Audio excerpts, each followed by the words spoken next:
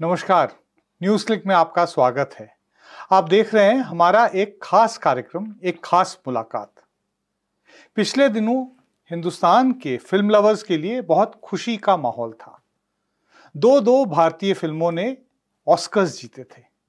एक film are are are जो बिल्कुल हमारे हिंदुस्तान की ट्रेडिशनल जो बॉलीवुड या फिर जो एंटरटेनमेंट बाकी जो गैर हिंदी भाषियों के जो फ़िल्म इंडस्ट्रीज़ हैं जो पॉपुलर इंडियन सिनेमा हम लोग कहते हैं, उसके रिप्रेजेंटेटिव उसमें एक ओरिजिनल सॉन्ग को ऑस्कर मिला।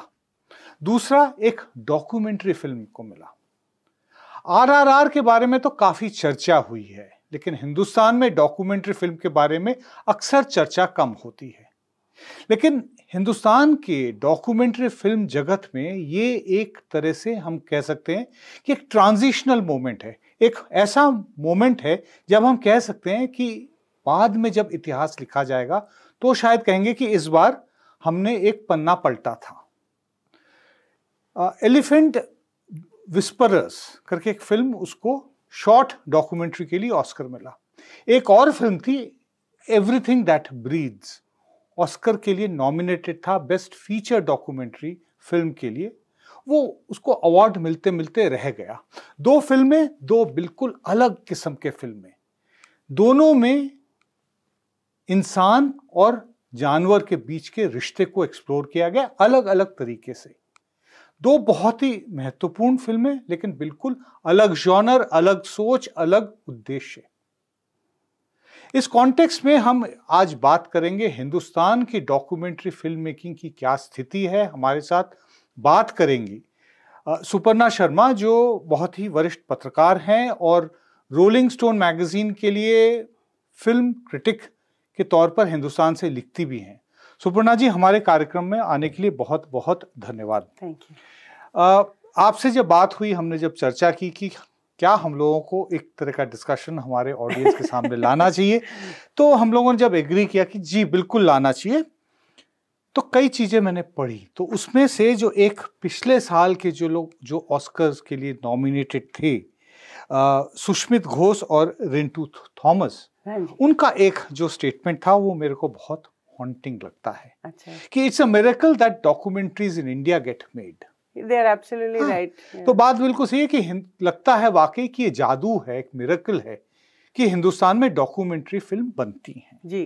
डॉक्यूमेंट्री फ़िल्म बनती हैं उसके बारे में हम बाद में बात करेंगे लेकिन हम आज इसको जो ट्रांजिशनल मोमेंट कह रहे हैं इसको आप इस्तेमाल करते हुए अगर हम बोले कि किसी को जो हिंदुस्तान में आज के स्थिति में डॉक्यूमेंट्री फ़िल्म मेकिंग के बारे में के आइडिया के बारे में कोई जानकारी नहीं। है तो उसको किस तरह से बताएँगे कि किस स्टेट में डॉक्यूमेंट्री फ़िल्म है हिंदुस्तान में?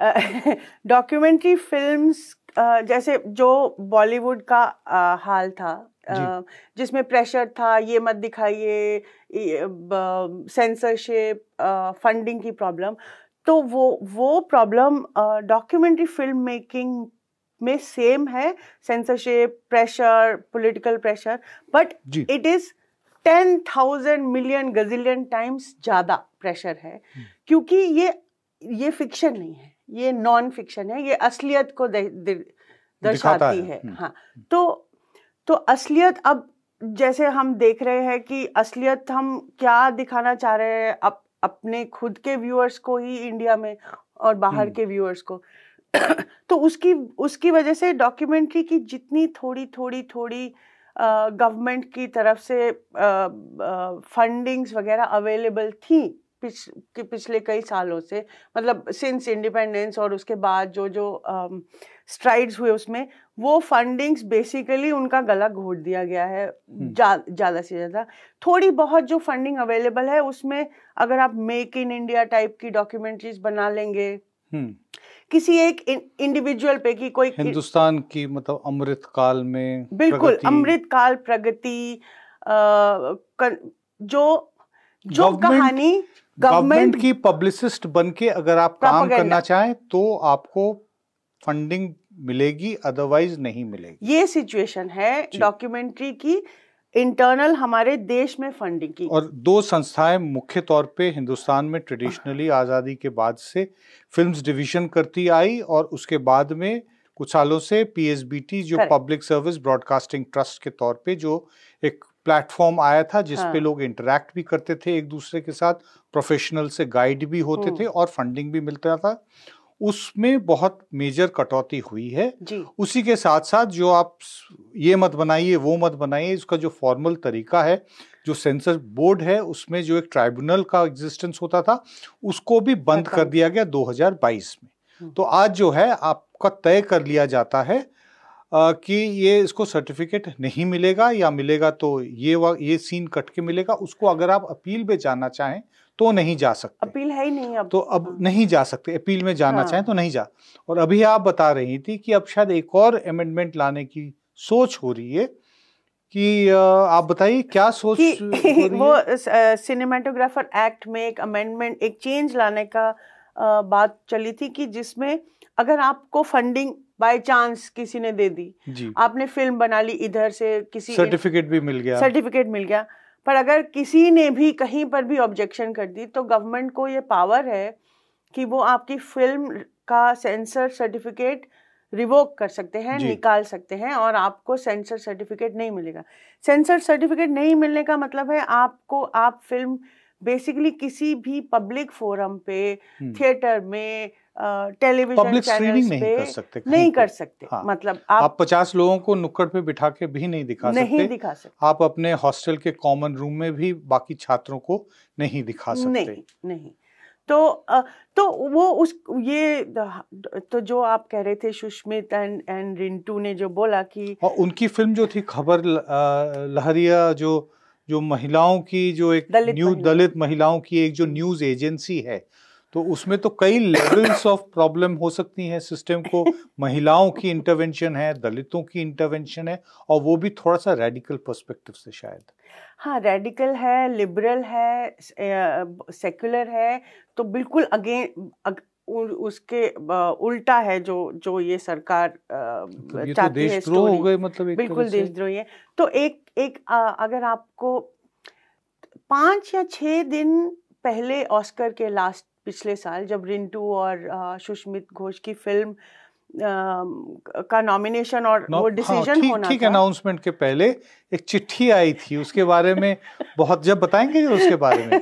क्योंकि वो एक साल के बाद एक साल आ, खबर लहरिया के टीम ने फ़िल्म को एंडोर्स करने के बाद वो चिट्ठी आई थी। बताइए चिट्ठी के बारे में। तो वो चिट्ठी मुझे तो अभी भी वो चिट्ठी का सिर्फ़ एक तो वो चिट्ठी में बेसिकली लिखा था कि ये उन्होंने पूरा फ़िल्म के साथ कोलैबोरेट किया।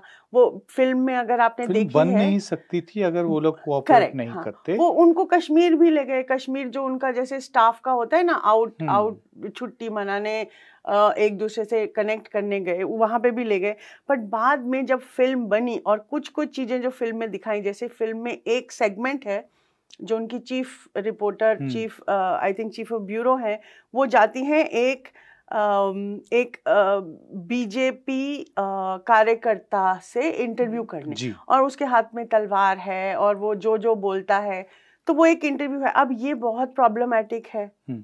इस सरकार के लिए और इस इस अखबार के लिए भी प्रॉब्लमेटिक हो सकता है हम्म। और आ, उनके जो रिपोर्टर्स हैं ग्राउंड पे जो लड़कियाँ जो जो उन पे हमला हो सकता उन है। पे हमला हो सकता है। तो आई वो मैं समझ सकती उस दबाव में आके उन्होंने वो चिट्ठी लिखी ताकि one degree of separation at least record में ला दें कि हम लोग इसको एंडोर्स नहीं करते और उन्होंने खत में लिखा था बकायदा कि इसमें हमारे काम को मिसरिप्रेजेंट किया है। उन्होंने ये भी लिखा था कि फ़िल्म मेकर्स ने अपने पॉलिटिकल पर्सपेक्टिव को में दिया है जो कि वो वो हमारा काम नहीं है। ये वो- ये झूठ है। हाँ हाँ लेकिन ये लेकिन ये बोला गया था। uh, अच्छा इससे याद आया कि ये जो जॉनर है कि एक न्यूज़ एजेंसी पे डॉक्यूमेंट्री बनी उसी तरह से अभी कुछ ही समय पहले एक और डॉक्यूमेंट्री बनी है जिसके बारे में काफ़ी चर्चा हुई है जो हिंदी के टेलीविज़न के जो बड़े एंकर हैं Ravish Kumar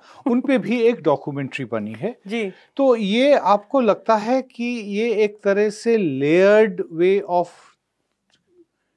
of of of showing the truth मतलब सच्चाई क्या है? खुद डॉक्यूमेंट्री फ़िल्म मेकर नाम बताते हुए एक पत्रकार के को व्हीकल बना के सच्चाई को दिखा रहे हैं।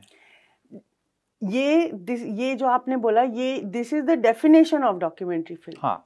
कि मैं नहीं बोलूँगा मैं आपको या बोलूँगी मैं आपको दिखाऊँगी कि क्या है क्या हो हम्म। रहा है। सो दैट इज़ द वो ही नॉन फिक्शन डॉक्यूमेंट्री का जी। वही डेफिनेशन है।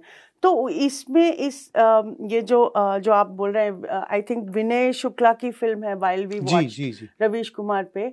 इट्स डूइंग एग्जैक्टली दैट कि वो मैक्सेस से अवार्ड विनर है पर वो किस तरह से यू you नो know, उनको प्रोसिक्यूट किया जा रहा है बार बार उनके शोज़ को अटैक हो रहा है उनको पर्सनल अटैक हो रहा है हम्म। तो and still how he is continuing to tell to कि न्यूज़ बता मेरे ख्याल से उस डॉक्यूमेंट्री की खासियत ये है कि वो फ़िल्म है एक पर्टिकुलर पत्रकार के बारे में लेकिन वो पूरी तरह से पर्सनलाइज ना होके एक तरह की पत्रकारिता पे किस तरह के हमले हो रहे हैं वो भी किसी। ना किसी तरह से रिफ्लेक्ट हाँ, करता हाँ। है तो उनको उनको उनका कैरेक्टर लेके वो बड़ी क्योंकि वो वो उनकी एक सर्टन पब्लिक इमेज है उसका इस्तेमाल करते हुए एक बड़ी कहानी को दिखाया जी, जा जी, रहा जी, है। जी, बिल्कुल। सो सो सो सो यही आई थिंक जैसे हम अगर डिफ्रेंशिएट करें कि आरआरआर को के गाने को ऑस्कर मिला। जी। और उधर जो रियलिटी से बिल्कुल बिल्कुल रियलिटी से जुड़ा हाँ। और और ट्रूथ को है भी डिस्टॉर्ट किया है। कमर्शियल सिनेमा है हमारा रेगुलर। कमर्शियल बिग सिनेमा है।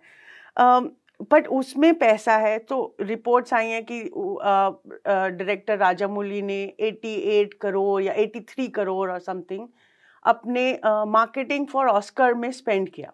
जी। अब ये डॉक्यूमेंट्री फ़िल्म मेकर्स ये रिंटू और यू नो 83 करोड़ मिल जाए तो मतलब कई अट्ठासी generations of documentary film makers correct documentaries बनाते रहेंगे। करेक्ट करेक्ट अगर हम लोग देखें। तो तो तो इसका हम तो वी हैव टू सी कि ये- ये डॉक्यूमेंट्री किस स्पेस में पैसे नहीं है कुछ कुछ इंटरनेशनल ग्रांट्स इधर उधर ले लेके और इंटरनेशनल ग्रांट्स में भी कैसे होता है? दे आर वेरी वियर्ड आपको तीन मिनट या पाँच मिनट का टाइम मिलता है। आप जल्दी से पिच करिए आपको मिलेगा या नहीं मिलेगा ये भी नहीं पता। दे में जस्ट से कि हाँ हमको इंटरेस्टिंग लग रहा है वी विल हम आप बनाना शुरू करिए हम we will get back to you after that hmm, तो आप फ़िल्म बनाएँगे कैसे? आपके पास तो पैसे नहीं है। तो इस माहौल में माहौल में होते हुए इंडिया में क्या हो रहा है? उसकी कहानी सिर्फ़ हमारे डॉक्यूमेंट्री फ़िल्म मेकर्स इंडिया के बता रहे हैं। हमारा कमर्शियल सिनेमा ये स्टोरी नहीं बता रहा है। एक चीज़ जो मेरे को अ, समझना है आपसे आपने अ, फ़िल्म बनाना शुरू कर दीजिए बाद में देखेंगे फंडिंग आती या नहीं। ये बात मेरे ख्याल से हर एक कोई मानता है कि फ़िल्म मेकिंग शायद थोड़ा ज़्यादा टेक्नोलॉजिकली फीजिबल हो गया है आज से 30-40 साल पुरानी के समय की तुलना में। अब आपके साथ बातचीत करने के लिए जो थोड़ी बहुत रीडिंग कर रहा था उससे एक चीज़ जो मैं शायद या तो जानता नहीं था या भूल गया था, वो याद नहीं आ पा रहा है।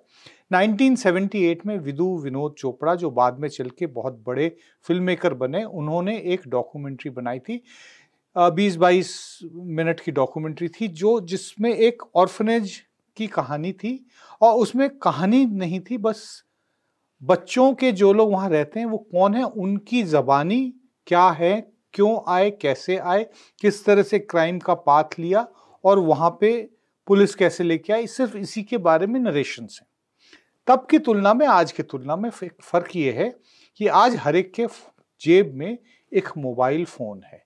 हर एक कोई एक तरह से डॉक्यूमेंट्री फ़िल्म मेकर बन गया है, क्योंकि हर एक कोई कुछ ना कुछ वीडियो रिकॉर्ड कर रहा है और सोशल मीडिया पे डाल रहा है। तो एक बहुत crude level of documentary short document हमको रोज़ाना कम से कम पचासों देखने को मिलती है अगर हम दो घंटे सोशल मीडिया में बिताएँ। हम्म। तो क्या इससे हमारी डॉक्यूमेंट्री फ़िल्म मेकिंग में कुछ नई ऊर्जा नई एनर्जी आ रही है क्या? जी बिल्कुल। आई मीन टेक्नोलॉजी से तो नई ऊर्जा आ रही है हम बट जो हमारे ट्रेडिशनल इंडियन डॉक्यूमेंट्री हैज़ बहुत ही रिच हिस्ट्री हेरिटेज uh, है हमारी डॉक्यूमेंट्रीज इमर्सिव हैं। जैसे आप आनंद पटवर्धन जो considered the the the doyen of the you know of documentary film making India में उनकी जैसे जय भीम आप जय भीम कॉमरेड डॉक्यूमेंट्री अगर देख लें। चौदह साल लग गया सत्रह के चौदह सत्रह। बोलते हैं कोई चौदह बोलते हैं हाँ, क्योंकि but- 97 में 97 में वो घटना हुई थी जहाँ पे बॉम्बे में वो जो पुलिस ने फायरिंग की थी एक बस्ती के ऊपर दलित बस्ती के ऊपर हुआ था बिकॉज़ वो और- बाला साहब हाँ, बाबा साहब हाँ। और उसके बाद 2011 में जाके वो फ़िल्म आई थी हाँ। तो 14 साल का जी। पीरियड बोलते हैं आपने आनंद पटवर्धन का नाम लिया तो आनंद पटवर्धन ने भी बहुत महत्वपूर्ण फ़िल्में बनाई हैं बहुत डॉक पॉलिटिकली सेंसिटिव फ़िल्में बनाई हैं बहुत हद तक हमारा जो जनरेशन था जो कॉलेज में होता था उस समय उन्होंने फ़िल्म बनाई थी प्रिजनर्स ऑफ़ कॉन्शियंस तो हम जैसे बहुत लोग वो फ़िल्म देखे और तय कर लिए कि अब हमको प्रिजनर ऑफ़ कॉन्शियंस बन के सारी ज़िंदगी बितानी है। तो इस तरह के फ़िल्मों में इम्पैक्ट होत, होता था। जी। और उसी तरह के हमको आज के युग में भी देखने को मिल रहा है। अब जो इस बार के जो दो एंट्रीज थे हमारे हिंदुस्तान के उस, उसके बारे में हम बात करते हैं। Okay. मैंने अपने इंट्रोडक्शन में कार्यक्रम के इंट्रोडक्शन में कहा कि दोनों किसी ना किसी तरह से मैन एनिमल इंटरफेस को एक्सप्लोर करता है अलग अलग तरीके से। बिल्कुल। Everything that breathes all that breathes all that breathes Shaunak Sen की फ़िल्म है और दूसरी जो एलिफेंट विस्परर्स एलिफेंट विस्परर्स मेरे समझ के हिसाब से एक अच्छी क्यूट सी कहानी है। एक कपल के बारे में मिडिल एज कपल के बारे में जो एक ऑर्फेंड एलिफेंट को बड़ा करते हैं क्योंकि उसको देखभाल करने के लिए कोई नहीं था। फिर एक और एलिफेंट को उनको संभालना पड़ता है। रघु और अम्मू। और ये जो दो कपल हैं उनका इस फ़िल्म के थ्रू एक सिनेमैटिक तौर पे उनका भी एक मिलन होता है। वो भी अपने आप को थ्रू दी एलिफेंट्स अपने आप को डिस, डिस्कवर करते हैं। तो एक हैप्पी एंडिंग सैड एंडिंग जो भी बोलिए कि हाथियों की ज़िंदगी सुधर गई। लेकिन उसमें ब्रॉडली जो मैन एनिमल कॉन्फ्लिक्ट है वो एक्सप्लोर नहीं होती है उस फ़िल्म में। नहीं। जो होती है शौनाक सेन के फ़िल्म में। इसके बारे में बताइए मैं थोड़ा बहुत मैं फ़िल्म नहीं देख पाया हूँ क्योंकि अभी भी हिंदुस्तान में इजीली अवेलेबल नहीं है। वो मुझ तक नहीं पहुँच पाई तो ऑडियंस की तो बात क्या करें? लेकिन मैंने मैंने ट्रेलर ज़रूर देखा है और आप भी अगर ट्रेलर ज़रूर देख लीजिएगा यूट्यूब में बहुत आसानी से देखा जा सकता है देखा जाना चाहिए। जी। उसके बारे में बताएँ मुझे लगता है वो ट्रेलर देख के और जो उनके इंटरव्यूज़ थोड़े बहुत जो इधर उधर जो उन्होंने दिए हैं उसको पढ़ के मेरे ख्याल से बहुत ही इंटेंसली पॉलिटिक्स की फ़िल्म है लेकिन पॉलिटिक्स में पी नहीं पकड़ पाया गया बाकी सब कुछ पकड़ सकते हैं। बिल्कुल। बताइए जरा इस फ़िल्म तो के बारे में। अम, जो आज जैसे आपने बोला एलिफेंट विस्परर्स बहुत ही प्यारी sweet feel good all is well with the world वाली स्टोरी है। जी। वो उसकी भी एक जगह है क्योंकि वो एक एक आप एक स्टोरी को एक फेंस कर दीजिए कि अभी मुझे ये वाली स्टोरी बतानी है। उसको और वो वैसे भी शॉर्ट डॉक्यूमेंट्री है चालीस मिनट की जी तो उसमें that's the story they wanted to tell कि ऑर्फन एलिफेंट्स का सर्वाइवल रेट बहुत कम हम्म। है होता है हम्म। बेबी एलिफेंट्स का तो उसको ये कपल कैसे हेल्प करता है टू सर्वाइव और फिर देन दे टेक वन पहले रघु फिर अमू ऐसे करके वो करते तो अच्छी स्टोरी है। सब आप सेहत परिवार जो भी बोलते हैं वो आप देख सकते हैं उसमें कोई इशू नहीं है। ऑल दैट ब्रीड्स बिल्कुल इस स्पेक्ट्रम के एंड पे है, end- दूसरे end, हाँ, दूसरे दूसरे वो उसका पूरे डीएनए में ही पॉलिटिक्स है। उसका दो मुस्लिम भाई हैं उसमें पहली बात। जो जो उसके मेन कैरेक्टर्स हैं और उनके साथ जो वर्क करते हैं वो भी वो भी मुसलमान है। हाँ तो एक तो ये पहली बात। जहाँ रहते हैं वो भी मुस्लिम बस्ती है। मुस्लिम बस्ती है। फिर वो चील जिन जिन कार्निवोरस कार्निवोरस नॉन वेज खाते हैं नॉन वेज खाने वाले चिड़ी जो चिड़िए हैं चील हैं। हाँ तो उनको वो बचाते हैं। और उनकी देखभाल पुरानी दिल्ली में जो बर्ड हॉस्पिटल है जो जैन इंस्टीट्यूशंस फंड करते हैं वहाँ उनकी देखभाल नहीं होती है क्योंकि क्योंकि वो वो कार्निवोरस वो मीट हैं। खाती हैं हाँ। ये बर्ड्स तो ये जैसे हमारा चॉइस ऑफ़ सब्जेक्ट से ही पॉलिटिकल ये शुरू हो जाता है कि इस एलिफेंट विस्परर्स का पॉलिटिकल पॉलिटिकल बैकड्रॉप है लेकिन वो सामने कभी नहीं आता है। सामने तो नहीं आता वो फ़िल्म में महसूस होती है? देखिए ऐसा है कि जैसे आप और मैं हम अपना काम कर रहे हैं। जी। अब अगर कोई हमारे यहाँ पर कैमरा लगा दे और हम अप, आप अपनी यू आर राइटिंग आप टीवी शोज़ कर रहे हैं तो बेसिकली फ़िल्म इन दो इन तीन लोगों को फॉलो करता है जो विद नो मनी अपने मन से वो बनाते तो आई थिंक हैंड सैनिटाइजर या हैंड सोप बनाते हैं उनका बिज़नेस है। पर वो ये करते हैं क्योंकि उनको पैशन है। They want to save this ये जो बर्ड पच्चीस हज़ार के करीब मतलब चिड़ियों को बचाया है हाँ उन्होंने। हाँ अपने पैसे तो से अपने नंबर्स अब अब जाके थोड़ी बहुत फंडिंग मिली है हाँ, जो हाँ, हमें right, फ़िल्म देख. के समझ में आता है सो so, सो so, उसमें अब पॉलिटिक्स अगर आप किसी भी मुस्लिम फैमिली को दिल्ली में हम्म। शूट करेंगे आप तो पॉलिटिक्स तो हो ही जाएगी मतलब मैं यू नो हम्म। ये और ये पॉलिटिकल फैमिली वो अच्छा है करते हुए और ये कुछ अच्छा कर रही है एक मुस्लिम परिवार को आप दो भाइयों को दिखा रहे हैं जी हाँ। जो और कुछ नहीं कर रहे हैं लेकिन सिर्फ़ सेवा भाव है उनमें। उतना ही सेवा भाव है जितना किसी भी राष्ट्रभक्त में है। जैन जैन हॉस्पिटल और ये दो तीन लोग। हाँ। एक हॉस्पिटल है और ये तीन लोग अपने घर में चीलों के लिए जगह बना रहे बेसमेंट में भी चील है टेरेस पे भी चीलों की जगह है। तो ये तो बेचारे उसमें सैंडविच होके रह रहे हैं अपना अपने घर में। तो अम, तो ये तो पॉलिटिकल है ही और उसमें बट उसमें अलग अलग डॉक्यूमेंट्रीज होते हैं जिसमें एक होता है जिसमें आ, जो डायरेक्टर होता है वो बहुत इंटरवीन करते हम्म। हैं क्वेश्चंस पूछते हैं। जैसे मैं पूछूँ अगर मैं कोई डॉक्यूमेंट्री की आपका क्या ख्याल है मोदी सरकार पे या आपका तो ऐसा कुछ नहीं है उस डॉक्यूमेंट्री में। वो सिर्फ़ रिकॉर्ड करा हुआ है और उसमें कहीं कहीं जगह पर अब वो घर में बैठे हुए हैं बाहर जय श्री राम के नारे लग रहे हैं हम्म, या अ, बाहर एंटी सी ए प्रोटेस्ट हो रहे हैं उन उस कॉलोनी में तो ये अब ये उनकी लाइफ पे इम्पैक्ट करता है क्योंकि वो मुस्लिम सिटीजन्स हैं इस कंट्री के और मुस्लिम सिटीजन्स की लाइफ को इम्पैक्ट करने वाली पॉलिसीज़ आ रही हैं। हम्म, सो उत, उतने उतना पॉलिटिक्स उन्होंने बहुत ही ऑनेस्टली और बहुत ही अच्छे से दिखाया है और इंटरेस्टिंग um, बात ये है कि जब प्राइम जब ऑस्कर सेरेमनी हो गया और आर आर आर हम्म, को और एलिफेंट हाँ। विस्पर्स को ऑस्कर मिला तो प्राइम मिनिस्टर नरेंद्र मोदी ने उनको विश किया बट ऑल दैट ब्रीड्स का मेंशन नहीं किया हम्म। जबकि वो एक बड़ी कैटेगरी मतलब डॉक्यूमेंट्री फ़िल्म मेकिंग पे मतलब इतना बड़ा एक इम्पोर्टेंट मेजर डेवलपमेंट की एक को ऑस्कर मिला और एक नॉमिनेट हुई और लास्ट हर्डल पे जाके नहीं पहुँच पाई जीत नहीं पाई वहाँ पे वो नॉमिनेट होने के बावजूद तो प्रधानमंत्री ने उसको नहीं कॉन्ग्रेचुलेट किया। ये मेरे ख्याल से पॉइंट आउट करना बहुत ज़रूरी है। आपने बहुत सही किया कि इसको पॉइंट आउट करके। अ, एक इंटरव्यू देख रहा था शहनाज सेन का। उसमें उसने कहा था कि उनकी फ़िल्म में politics is very oblique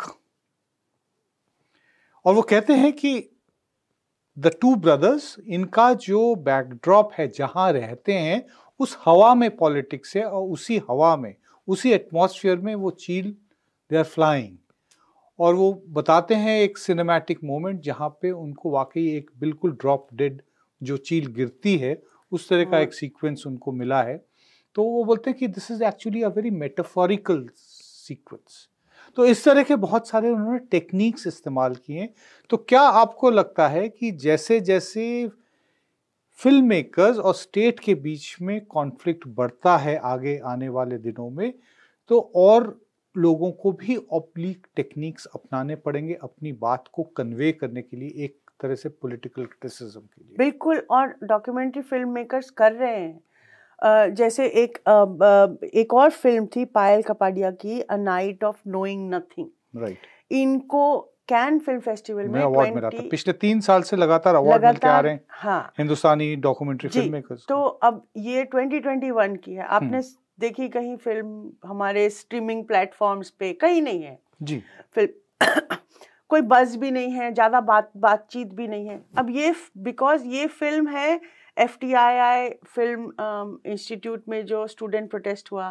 crackdown हुआ। फिर वो रोहित वेमुला हैदराबाद यूनिवर्सिटी में जो क्रैकडाउन हुआ। J N U and Jamia.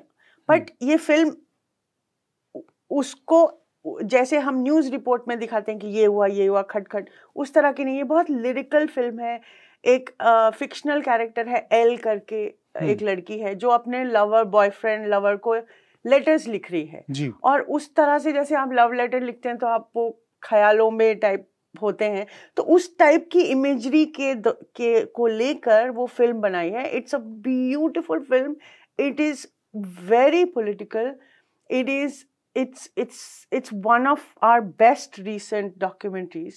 And कोई चर्चे नहीं है इन इन इन फ़िल्मों के। तो तो ये जो आप कह रहे हैं ऑब्लिक तरीके से ये दिस इज़ ये हर अथॉरिटेरियन रेजीम uh, में होता है। जैसे पाकिस्तान में you know it's a kind of it gives birth to a golden period Hindustan में तो कोई पहली बार नहीं है कि क्रिएटिव लोग चाहे वो किसी भी चाहे फ़िल्म मेकर हो चाहे पत्रकार हो चाहे लेखक हो वो सत्ता से लड़ाई करना कोई ऐसा नहीं कि पहली बार पिछले पाँच साल में हो रहा है। बिल्कुल। हिंदुस्तान में आ, हमेशा से होता रहा है हमेशा से आ, लोगों ने विरोध किया है। जब भी कोई जनता के आम लोगों के खिलाफ कोई भी अगर कुछ कदम लिया है कोई भी रिप्रेसिव पॉलिसी रही है उसके खिलाफ हमेशा से क्रिएटिव लोगों ने आवाज़ उठाई है। आनंद पटवर्धन की बात की जिन्होंने 1970s से फ़िल्म बनानी शुरू की।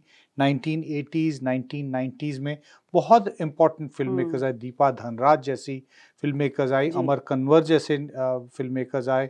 निष्ठा जैन जैसे फ़िल्म मेकर्स आए। और आज एक हमको दिखने को मिल रहा है कि एक नई पीढ़ी के डॉक्यूमेंट्री फ़िल्म मेकर्स तो क्या आप कहेंगी एक तरह से रिले रेस चल रहा है और बहुत in very safe hands Hindustan की डॉक्यूमेंट्री फ़िल्म मेकिंग वेटरन्स बनाते रहेंगे अपनी फ़िल्में जी जी। लेकिन आने वाले युग में क्या आपको लगता है कि एक नई दिशा एक नया मोड़ हिंदुस्तान डॉक्यूमेंट्री फ़िल्म मेकिंग को मिल रही है? बिल्कुल बिल्कुल मिल रही है बट मैं एक चीज़ अब बोलूँगी जो आपने बोला कि शुरू से ही और ये बिल्कुल ठीक है हर कांग्रेस गवर्नमेंट हो कोई भी गवर्नमेंट हो जो। उनको टॉपिक्स नहीं अच्छे लगते उस पर वो फ़िल्मों पे उन्होंने क्रैक डाउन किया है सेंसर कर दी बंद कर दी जो भी तंग किया है फ़िल्म मेकर्स को। बट अब बार बहुत लो हो चुका है। अब आप ऐसा नहीं है कि बार बहुत लो हो चुका है और शायद एक और कारण है कि आ, सिर्फ़ पावर के अलावा एक आइडियोलॉजिकल रीजनिंग भी है। जी जी। जो पहले नहीं थी। जी एक और अब अब मतलब आप थोड़ा सा भी आ, कुछ जैसे ये फ़िल्म है आ, आ, हम बात कर रहे थे कब looking for Ram in in Kabir poetry जैसे ये right. एक इतनी ब्यूटीफुल आइडिया है it's such a lovely idea but फिर एक है गे इंडियन मैट्रिमनी जो hmm. अभी फ़िल्म बनाई जिसमें अभी प्रोटेस्ट हुआ एक जिसमें सेक्स को तो मतलब लीगलाइज कर दिया है। लेकिन परिवार नहीं बना सकते। हाँ तो वो उनकी बट वो उनकी कहानी है डॉक्यूमेंट्री है फिक्शनल नहीं है।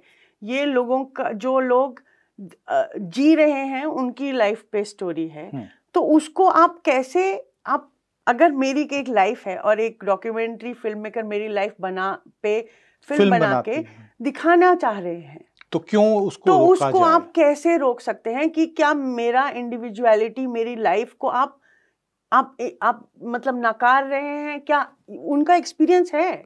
तो वो तो इस तरह का इतना बार लो हो चुका है कि हर जगह पर आप ये नहीं दिखा सकते, आप ये नहीं बोल सकते। तो इस माहौल में हमारी फ़िल्में for the first time documentaries international forums पे they are winning awards they are getting talked about her, आप यूएस यूनिवर्सिटीज में, अब आप लिस्ट ले, देख लें हर पढ़ाया जा रहा है। पढ़ाया जा रहा है दिखाया जा रहा है स्पेशल शोज़ हो रहे हैं। These documentary film makers are being invited कि आप आए बात करें एंगेज विद अस अबाउट क्या हो रहा है इंडिया में। बट ये फ़िल्म हम लोग नहीं देख रहे हैं।